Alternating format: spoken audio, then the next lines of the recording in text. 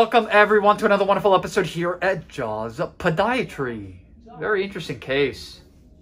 Super duper guy. Just met him today. Yeah, we can we can go on television together. Yeah. He's got a sense of humor, and, and as everyone uh, knows, I love uh, patients We're, we're in the catering business over here. That's what I am. Okay, super. 95 in Pembroke. Okay. So You don't drive that way. Uh, I actually Caesar. across the street from where the plane crashed.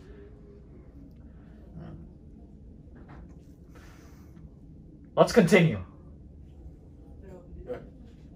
And we continue. Cue action. So, this is really, really interesting. Uh, the patient has, uh, we'll say, we'll call it a golf ball, right? Uh, he's had the golf ball for a very, very long time. Um, the patient, you would say, the golf ball has been there a Couple years, and it basically just came out of nowhere, right? No trauma, no injury. Um, right. The problem is the patient has what we call idiopathic neuropathy. He's really not sure from what. Non-diabetic, and that's part. You know, at the core, that's the problem. The problem is we have a structural deformity. We have a, a structural deformity, which at the core is the problem. But then we spr- we spritz, right, the neuropathy over, and that's what is causing this big callus, which has an underlying ulceration because it's already draining. So let's take a look, right? So as everyone can see, even from the side, we got the golf ball right here. And as everyone can see, it's already draining from the central portion. So we're gonna go ahead and, you know, remove some of this callus to uh, uncover, right? Because we know there's an ulcer, to uncover the ulcer. You know, I'm very concerned because he's seen a couple of clinicians and they really haven't done a whole lot for him. You know, um, he had a recent... That ep- was the emergency room you went to the emergency room? at uh, Memorial's Pembroke. Okay. They didn't do a whole lot either, probably. Nah, they're very busy and it's a lot of, you know, a lot of trauma there. So there's undermining. We've done this before.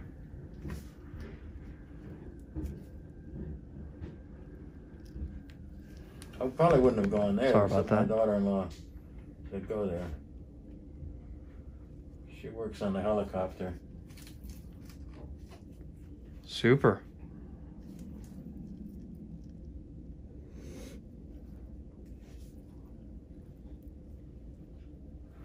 The callus never lies. So, you know, the first thing that we want to do, I already have a plan in mind. First thing we want to do is he's going to send us a copy. Any pain? I may have it downstairs. I think I left it in the glove compartment The glove compartment. in the car. Yep.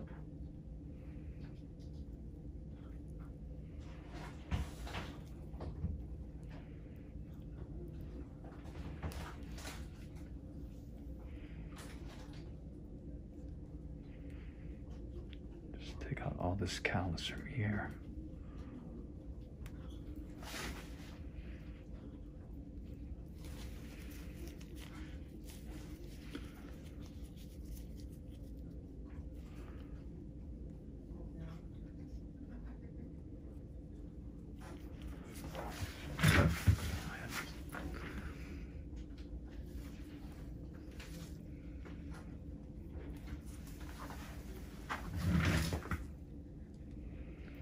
We want to remove all this undermining tissue, right? Undermining means get to that level, right? That it's actually tunneling. So we want to just kind of uncover everything so we can actually evaluate everything.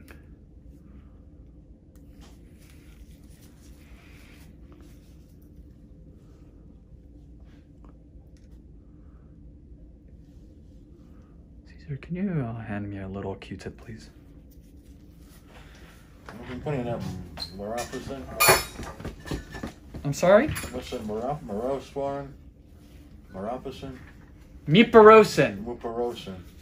Um, I had some left over from something else. so, you know, I'd like to, what I'm going to do here is, again, it's called the probe to bone exam, just to see if there's any, any, any bone.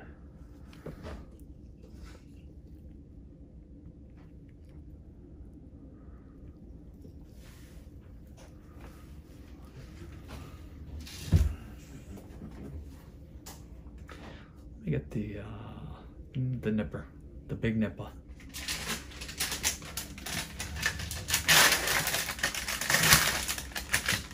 I like for just use the nipper here just to take out this what we call you know fibrin tissue. Whether it's a tissue nipper nail I don't really care. As long as we debride what needs to be debrided.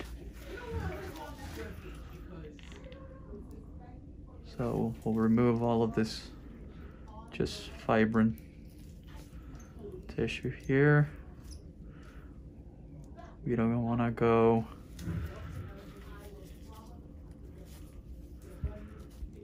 Okay. Caesar can can you have a good visual there? Maybe we can put the foot there a little bit better. Let the public see. So now that we've uh, uncovered the ulcer now we'll do the probe right? To bone so you guys can actually see right how deep it is. And it's probably deep just because it's it's empty, right? This is like a pocket. Look, look at this.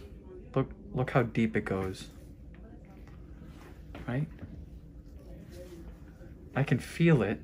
I want everyone to look at this. I can feel it over here. I can feel it right here. That's the tip. All this. And then we're going to go this way. Remember, I'm not pushing. I'm looking for the bone. And I don't feel the bone. Okay? Which is great news for a lot of reasons.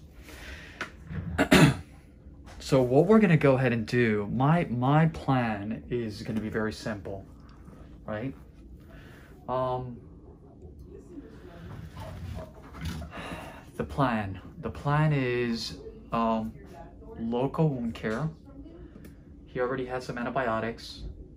No active signs of infection. First step, I'm close. taking antibiotics now. Right, right, right. No, you took. The first step is to close the wound, which will entail you not putting any weight on the foot. This is where you become a compliant patient.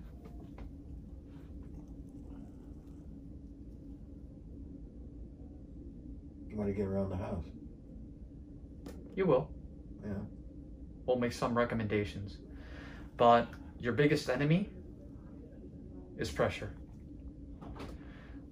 We need to close this, you know, very quickly, and it will close because you have a lot of blood, right? Blood is really, really good. You got good flow. And once we close it, the band-aid, the short term, the shoes, the you know the um, the custom molded shoes with custom molded inserts, sure we can do that. But I'm looking at you're young, and this is going to become a chronic problem. It's been a chronic problem. You got the callus, it opens up, it closes, then it Opens opens up, up, and it opens, and then, I mean, how much longer can you go? You, it's uh, you know strike one, strike two, strike three, and then you're out. Strike three is bone infection. You've heard that before, maybe, maybe not. I've had infection in it, but not all the way up the leg, you know. But have you ever had any type of surgery in this area before? That's what I mean. No. Only the toe over here. That's what I want. Right. But my concern is you know, our our goal is to prevent bone infection, prevent limb loss. So once this is closed, then I'm going to make some uh, recommendations regarding uh, a minimally invasive little procedure to kind of saucerize, shave that bone, remodel it, try to take off that weight, right? That bone spur, so to speak, that you're that you have there, that is the at the core of the problem. So then it won't come back. That comes from the little toe, right? Not the little toe, from from the metatarsal. Okay. Okay, so you know th- this th- this is like a, you see how I can just grab this whole thing? It's like, a, you know, it's like a it's like a golf ball, a soft golf ball. That's a callus. No, the callus is underneath. Everything else has developed, and you know we're gonna take a look at the MRI report and see and see what we got there. But until then, I'm gonna definitely keep everyone afloat on this patient's progress. This is a you know unfortunately it's an interesting case. Um, kind of looks like you know like another great toe just kind of like popping out of the side of the foot. But it's all good. You're in the right place. Good. Yeah. Best place to be. I mean, doesn't get better than that. We have a plan, which is the most important thing. Everyone, please do your homework, right? Not all surgeons are created equal. I've always said that.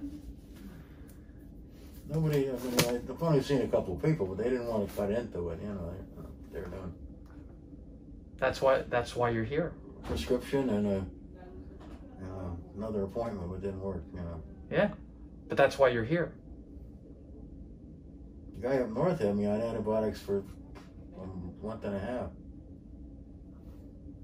Only creating resistance to bacteria. More antibiotics, more antibiotics, more antibiotics, more antibiotics, more antibiotics. And some more. And some more. That was a sep, Cipro. What is it, Cipro? Cipro. We'll culture this, send him on his way, knee rolling walker, the whole works. Stay off of it, whatever works. We'll get, you know, we'll make it happen. I gotta move a little bit around. You know. You will. As always, www.jawspodiatry.com, Instagram, Dr. Tojam, Jaws Podiatry, Facebook, and last but not least, our YouTube channel, Jaws Healthcare. I want to take this opportunity to thank this young gentleman for allowing us to do this today. Right, and we'll, I'll bring that. I'll get out and see if the uh, MRIs. I'll just give it to the girl. Yeah, yeah, yeah, yeah. yeah. Have a wonderful week, everyone. Stay safe. Where does that go?